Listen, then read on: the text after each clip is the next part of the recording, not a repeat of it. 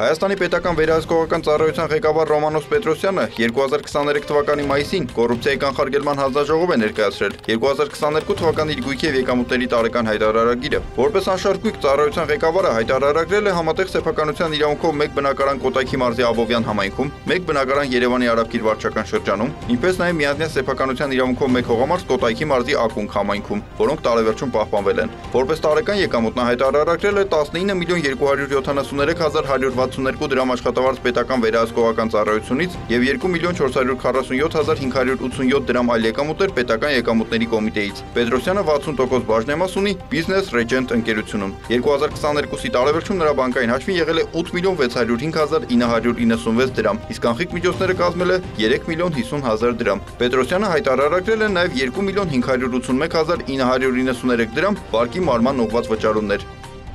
Ծառայության ղեկավարի կինը Արմինե Պետրոսյանը որպես անշարժույթ հայտարարագրել է համատեղ սեփականության իրավունքով մեկ բնակարան Երևանի Արաբկիր վարչական շրջանում, որը տարեվերջում պահպանվել է։ Որպես շարժական գույք նա հայտարարագրել է 2007 թվականի արտադրության Mercedes-Benz Magnishi ավտոմեքենա, որը նույնպես տարեվերջում պահպանվել է։ Որպես տարեկան եկամուտ Պետրոսյանը հայտարարագրել է 2 միլիոն 360980 դրամ աշխատավարձ Աբովյանի բազմագործառութային պետական քոլեջից եւ 881407 դրամ աշխատավարձ Smart նորարար կրթության եւ մշակույթի զարգացման հիմնադրամի կողմից։ 2022-ի տարեվերջում նրա բանկային հաշվին եղել է 99431 դրամ, իսկ անխիկ միջոցները կազմել է 950 հազար դրամ։